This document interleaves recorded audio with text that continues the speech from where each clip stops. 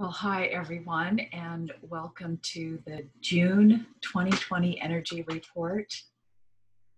Well, it appears the fires of transformation have been lit, but in my opinion, they've been lit, but they haven't found a pathway of transformation yet. They're burning wildly. So, that's just my humble opinion, but definitely the message, uh, one of the messages I got was the fire has been lit. It just simply needs a pathway, a harmonious pathway. So, if you're new to these energy reports, I'll just quickly say that uh, I use the I Ching. I get hexagrams, and then I I speak about that hexagram for for the month what the message from the sage is. Uh, and I also bring in the gene keys, which is a, let's say, uh, an alter, a, a, descendant of the I Ching. It, it's a more personal interpretation of the I Ching. So we have 64 hexagrams, we have 64 gene keys. Uh, also in these reports, I, I get words, sometimes one word, this month, I got a couple of words that describe the energy of the month. So I use I Ching, gene keys, words, and my own feelings. So when I tuned in to get the the uh, words and energy in the hexagram for this month, it was um, a day or so after um, the incident with George Floyd. So it was just the first day after the protests. And I hadn't really, I saw that there were protests in Minnesota, Minneapolis. I think I've just confused it. I don't, I'm sorry. Uh, I don't, I can't remember what state it was, uh, where the protests were beginning. And so I think it was Saturday or Sunday night when all the protests seemed to have broken out across the US. I tuned into the news station. Just happened to t- just thought, let me let's see what's going on. I don't hardly ever watch uh, things like this. My God, when I tuned in and they were reporting from every city across the United States, it was unbelievable the protest. And what was shocking was my physical response to what I was seeing. I was visibly shaking. I started shaking. I could feel, I was really tuning in. I was um, listening with my body. I purposely, I didn't watch with the mind or the ego. I purposely sat there and tuned in with my entire body to just see if I could get a sense what was happening, what these people were feeling. And it was overwhelming. I started shaking, you know, like like you're cold, that kind of shaking. I shake the entire time I watch, more than an hour. And I was having waves of emotional weeping, that kind of response. So it was a very wow kind of moment. And the words that I got for this month, a couple days before, one of the words I decided that at that moment I thought I've got to look up that word because I don't know what it is. I've never used it. I don't think I've ever heard it. And uh, the first word that I got for June was the word ver- verklempt.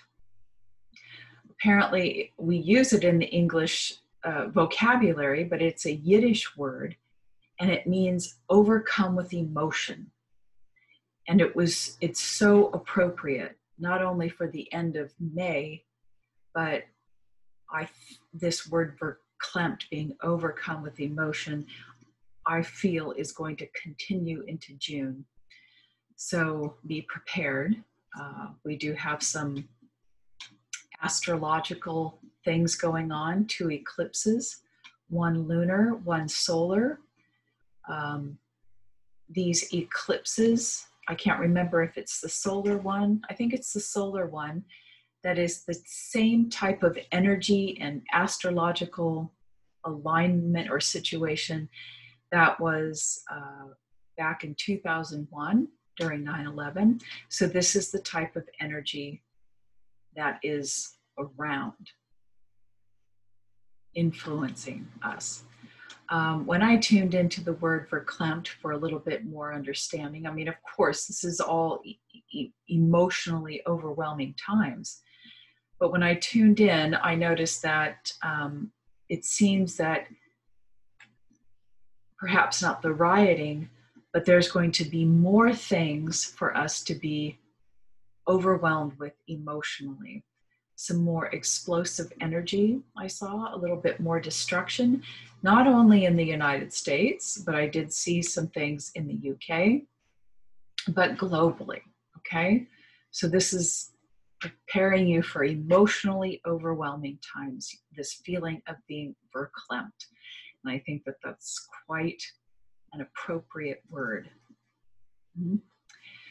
The other word that I got, I got three other words. Um, the other word was mystifying, mystified. You're going to be mystified.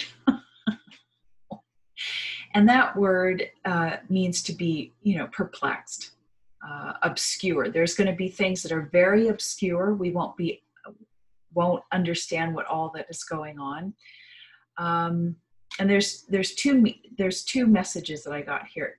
This word mystifying can can also mean uh, being hoodwinked, hoodwinked or duped. So I think there's some hoodwinking going on. We're being duped in some way, and you could certainly relate that to the rioting and the looting that's going on.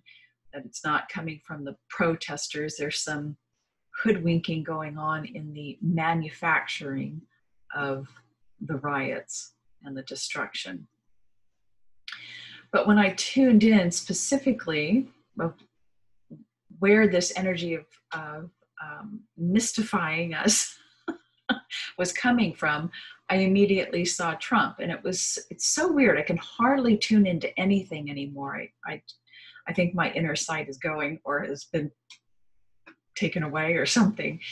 Um, but I I just saw Trump fade in and fade out. So I get this feeling, what I got was he's just not going to be very, it's going to be mystifying to us. He's going to perplex us. Maybe he's going to be more obscure in his, in his appearances or in his um, communication. I don't know, but we're certainly going to be even more mystified by the world of Trump.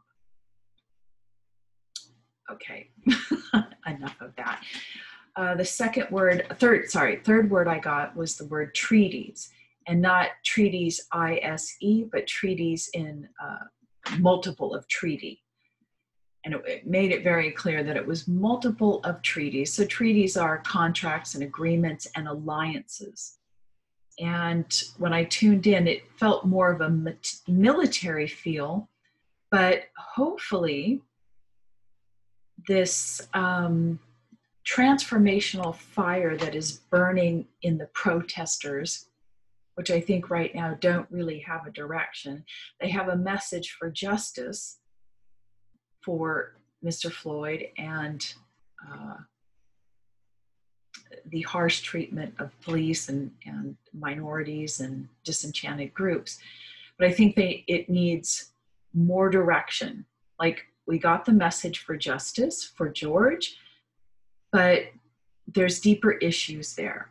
Anyway, hopefully, groups will come together and create a plan, a real message, um, begin to engage, which is the fourth word I got engagement. Engage with government, police, you know, begin to form a plan. What really needs to happen coordinate meetings, make agreements, make alliances, and that to me is when the real transformational fires will work in a, in a harmonious way. Right now, it's just um, a lot of emotion burning out of control. And that's perfectly fine. It's, it's, a, it's a perfect starting spot. So I don't want to um, diminish the role of protesters, but they need to find a why and a how and a plan so that they can be met with more openness on the other side.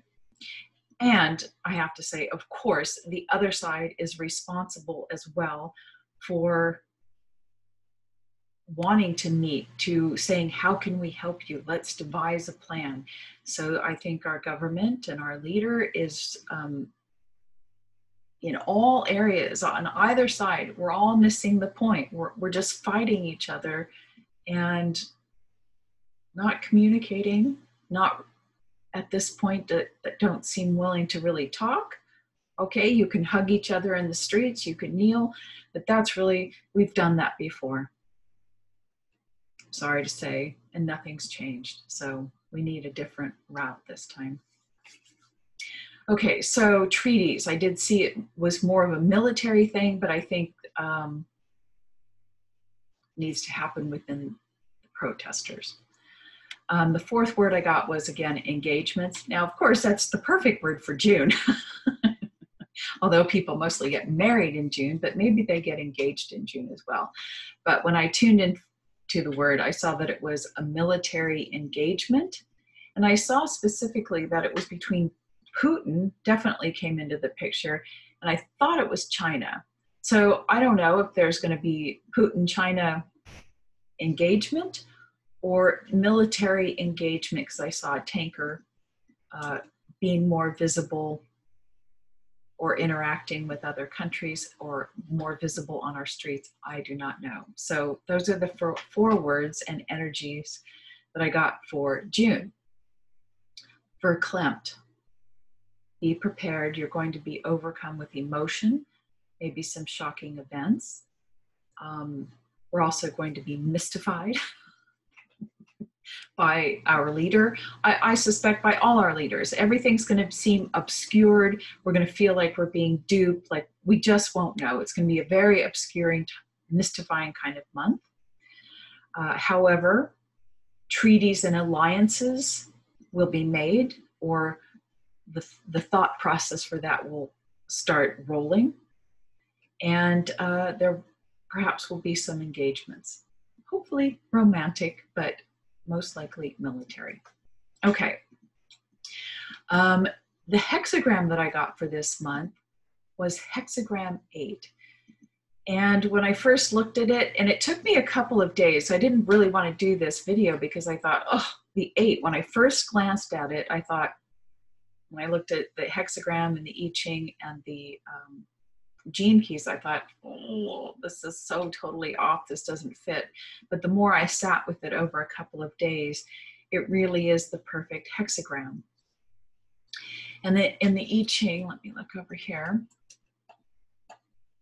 First of all, uh, the hexagram number eight is called um, holding together. And it speaks to the forces of attraction that hold the entire invisible universe together as well as the visible or manifest universe. It's, it, it is the underlying force of everything, this force of attraction. And uh, yes, you could, the most common way of, of looking at this is law of attraction, like, a, like attracts like. But the I Ching speaks to it in a more uh, finessed way, and I think a more appropriate, accurate way. It's forces, um, complementary forces that are attracted to each other.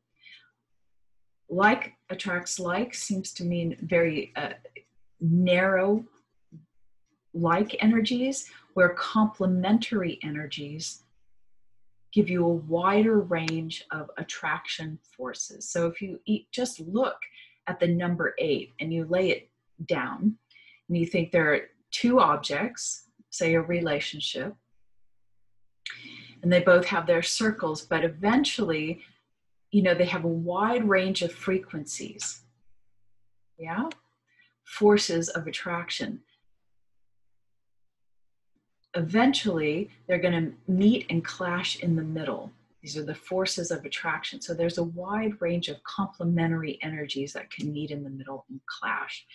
And I think the overall message from the sage about this, these complementary attractive forces is that nothing, Nothing in the universe, nothing in your personal life, nothing in the world that you see is by accident.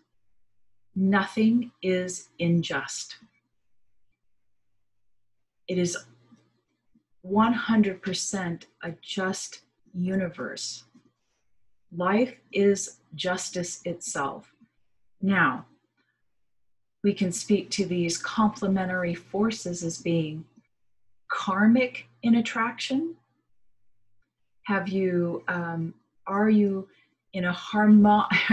so, this justice is talking about, you know, the principle of cosmic harmony. Are you in karmic harmony? Meaning, you are acting and vibrating in a tone that is of the collective ego or the ego in your personal ego that is has some fear or emotion or belief system that is causing you to vibrate in a more karmic harmonic tone or are we vibrating at a dharmic harmonic tone right I think I'm kind of losing my, anyway, my train of thought. I always get a little too complicated. So the message is, you know, we have to look at what is going on, what happened to George, what's happened to all the Georges and all the people and all the things in our life, whether we're interacting with, we have a relationship that's highly volatile. We think that there's no way this could be right. How could the universe do this? um, or whatever, it's always justice. You are complementary energetic forces that have drawn you together. So um, each side has responsibility, equal responsibility. Now, I hope this doesn't upset anybody, but you know, for, for example, I think I'm looking, I know the camera's there, but I'm looking here because my computer screen is crooked. I don't really want to move it. Let's see. Maybe that'll help. Let me move this. It doesn't matter. Um, so, you know, in the case of, of Mr. Floyd or all of the George Floyds out there, they could not have come together, met in the middle, collided in the middle, had there not been complementary, sorry, yes, complementary forces at work there, complementary attractive forces at work. Did Mr. Floyd, maybe I shouldn't use his name,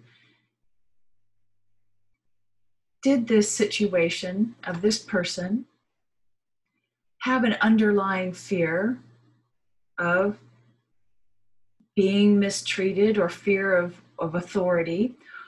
Or have they taken on, say, a particular group of disenchanted individuals? And this is what the holding together, uh, Gene, I'm sorry, hexagram 8 talks about. It's how the forces of the universe hold together, but it also talks about how groups of people hold together. And are they holding together in cosmic harmony? Or are they holding together in collective karmic harmony, which means that they have a particular belief and image about themselves, their group, that is holding them together with the image that this other group is holding them together. So, Mr. Floyd may have had an image and a fear about himself, about his life, about who he was, about the certain group that he's a part of, working in his energy field. And then this person feeling that my life is full of injustices. I'm not thought of as a as a real human being. And then of course, you you have this other group who feels like, oh, what, whatever their fear is or anger is or belief system and they collided and while it's not justice in the human ego perspective from the cosmic perspective you know the cosmos is always trying to be bring people and things back into cosmic harmony. That is perfect harmony, karmic harmony. I think it was, I, I just heard somebody speak about Julian Norwich. Um, and she spoke about that love and harmony attracts harmony and sin attracts sin or sin eats sin something like that. Two sins don't make a right. Okay so you get the picture. Um, so we have to look at what's what has gone on and what's going on right now as being in total harmony. The universe is trying to right itself but I, I think the message i'm trying to get across is that or the sages and what I'm feeling is um, when I'm looking at these protests, I'm sorry, this is going to be a long video, I suspect, um, that both groups, but particularly the group that is feeling the injustice or, you know, has now taken action towards dealing with the injustice, they really need to take responsibility and look at are we holding images of ourselves from the past? Do we uh, think of ourselves as being disenchanted, not, not disenchanted, disenfranchised, looked down upon? Do I feel like I was a mistake or am I angry? Do I look at others as the enemy? Um, you know, all that. We have to remove those images and function and and respond in a not in the situation so it's feels a little awkward speaking on on another group of people's behalf. But i think you understand what i'm saying. You just can't be angry and react. There's responsibility on both sides. Okay enough of that. Um, what else did i want to say? Oh yeah. And so uh, going back to thinking that this hexagram eight was totally the wrong hexagram, well, it's totally not. Of course, perfect. So hexagram number eight or gene key eight is part of um, the codon ring group of uh, the ring of water. And this couldn't be any more perfect for this time. And in the, this codon ring, the ring of water consists of two hexagrams, two gene keys, number two and number eight. And number two is uh, represents the divine mother in the invisible form. And she is the loving, we can call it Piscean energy, which is so perfect because Mars is in Pisces. Where does Mars fit in? Well, eight is the action, the manifest form of the invisible mother, the watery consciousness. Eight is the is sort of the manifest, almost masculine energy of the feminine energy, if that makes sense. And so astrologically, Mars is in Pisces, and Mars represents, you know, man, uh, intelligent activity, creativity, revolution. We want we're warriors. And what's going on right now is kind of the shadowy aspect of it. So the codon ring of water is absolutely the water is stirring up the sediment and causing right now the shadowy reaction, the, the violent, aggressive an- energy of the eight and Mars energy. So it is the perfect hexagram for this month, Mars being in Pisces. So the mother, the divine water, is stirring up the sediment. The fires of transformation that have been lit, but we kind of don't have a direction yet. What else did I want to say? Sorry, you know, I never quite prepare too well for these things. Um, I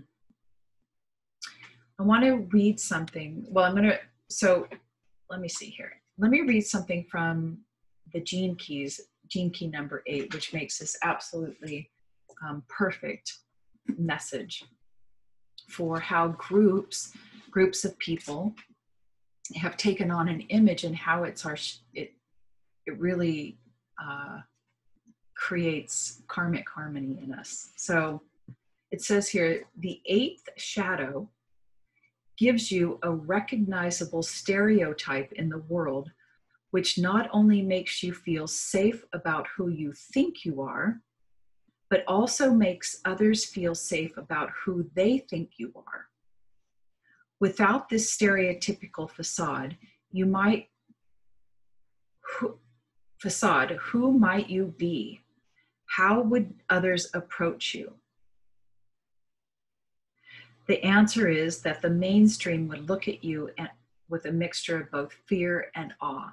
So, what he's saying is that, so what this gene key is about, once again, is that this really, this gene key, basically, the whole underlying message of the gene key is fear of success.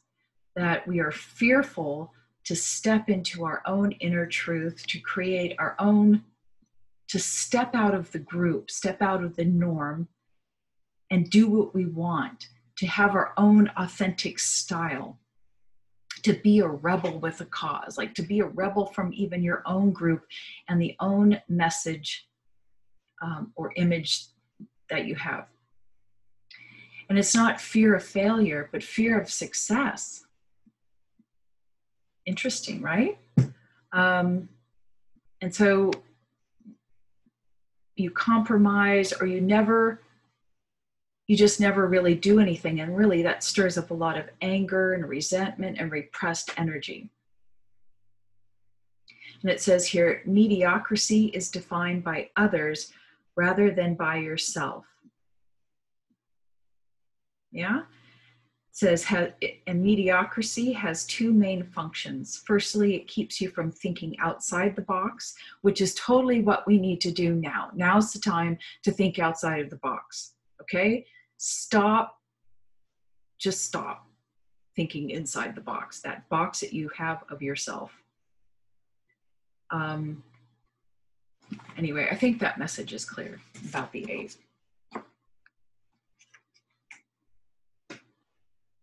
losing my train of thought, so it must be time to bring this energy to a close. No, the message, I'll read a couple more things from the sage here. There were some specific uh, lines that, that the sage wanted to speak to. Um, let me put this on pause. Okay, I kind of lost my way there the last couple of minutes, so I'm still a little lost, but I think what I'm going to do is just read a couple of lines here that I underlined that um, might resonate with you. So this is coming from uh, hexagram 8, holding together. And it says here, while the cosmic consciousness is capable of thinking, it is primarily a feeling consciousness, right? These attractive forces. A feeling consciousness that operates through the force of attraction between complementary aspects. So a wide range of aspects complement each other. Um, this hexagram shows that the basis for a person's unity with the cosmos and therefore with others is holding together with the sage in his presence since since the sage or uh, cosmic consciousness or um, silence your helpers calling in god whatever see this is this is all everything that all of this transformation that is going on we cannot solve from the human mind alone. It's time for us to kind of open up and always ask, and, in your personal life, right? Of course, always ask now that the sage or God or Great Spirit or the universe, whatever, come into the relationship and show you the way, be a part of. The third party, the witness, okay, the mediator, uh, I do that every single time, although it doesn't seem to help. But whenever I have a conversation with somebody, doesn't matter who it is, customer service, friend, doing these, but I always call in the sage. That doesn't mean that, you know, I'm not tense and I don't hear the message, but it's always there to, when you call in the sage and whatever interaction that, that you're having, regardless if things seem to go wrong, there's always a group of helpers to smooth things out because your intention and sincerity was there. So, whether you're dealing with an ex, a boss, whatever, always call in the sage to help you communicate and receive what is needed. Okay? Um, receiving this hexagram can indicate that a person has replaced holding together with the sage by uh, with the sage by holding to a fixed belief or customs. Um, all unity between two people is made possible by recognizing and respecting each other's boundaries, this being the pre- prerequisite. The sage then makes their harmonious connection possible. Okay. Um, there's an interesting phrase in here. It's it's talking about um, kind of a spell that we put on ourselves in the collective ego. It, it's we wouldn't say that we had this spell, but it's it's how we go through life that we forget to call in the sage or the cosmos, and that we sort of see life as an adversary. Um, particularly, and this was message was for me, when we keep asking the universe what is my purpose? What is my purpose? That we see that the that life is not responding to you. We by doing that you're seeing life as your adversary. That just you being you isn't purpose enough. Um, what does it say here? Beacon again i lost my way. I'm sorry. This is probably a terrible video. I'm very sorry. Um, but it also talks about here that um, it is not the idea that we need to possess possess a storehouse of knowledge in order to face life and to be protected against the future is similarly flawed because it is based on the idea that life is an adversary. Such a slander on life creates a face uh, fate. A person the person who maintains his conscious connection with the sage your higher self receives the help and protection he needs during adversarial times. Fearing the unknown is based on the same assumption that life is an adversary and has the same consequences. This line also warns against holding together with another when there is no inner connection. This is obvious when the ego in the other person is constantly in control and interconnection can occur only between two people's true selves. Well, there you go. And that was one, one of the direct messages from the sage for this month. And line two, which was another direct message from the sage, says this um,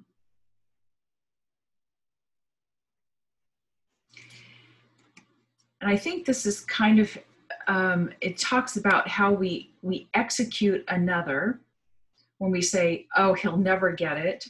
Um, we execute their true self in them when, when, we make statements, particularly when we're talking about Trump or our leaders, like, "Oh, we give up on him; he'll never get it." That we lock people into the behavior that we don't want because we keep saying that that we keep executing his true self and that um, in relationships that we want to end says the correct way to end a relationship is to ask the helper of relationships to cut the inner connections. Otherwise they will remain bound together inwardly. An unclosed inner connection is a channel through which blame anger envy and other ego driven emotions travel creating projection spells and other yucky things. Anyway, uh, I know I've dragged this on long enough. Um, sorry, I'm just I'm trying to be a little bit less uh, talking fast and being a little bit more thoughtful. But I kind of lost my way. so this month, hexagram eight. Um, we may become overcome with emotions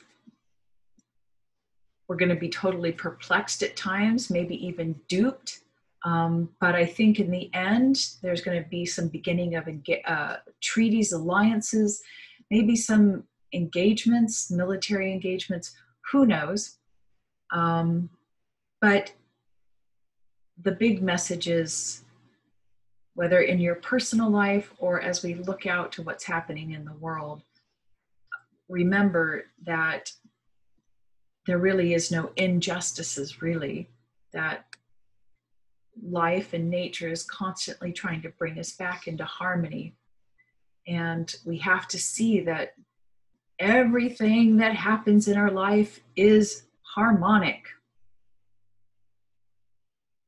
Whether it's karmic harmony or cosmic harmony, harmony, harmony. We have to take responsibility and uh, on both sides. Both sides have responsibility. Okay.